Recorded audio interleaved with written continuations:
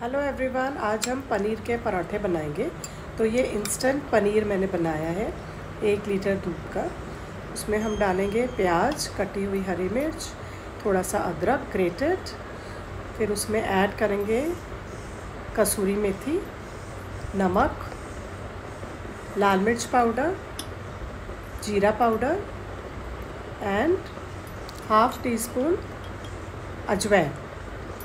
अजवाइन मैंने क्रश करके रखी हुई है और सब अच्छे से मिक्स कर लेंगे। और पराठे तैयार करेंगे।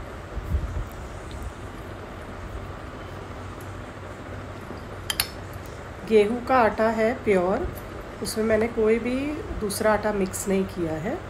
और ऐसे ट्रेडिशनली दो चपाती बनाते हैं, जितना बड़ा पराठा आपको बनाना है उतने बड़े चपाती, दो चपाती आपको बना लेनी है पहले से ही। और फिर ऐसे मिक्सचर भर लेना है और तवे पे सेक लेना है देसी घी लगाकर दोनों तरफ़ से। बहुत ही बढ़िया सा पनीर पराठा रेडी हो गया है। सिर्फ़ गेहूँ के आटे में ही बनाते हैं, इसीलिए जब आप एक पेड़े में भी बना सकते हो इजी वे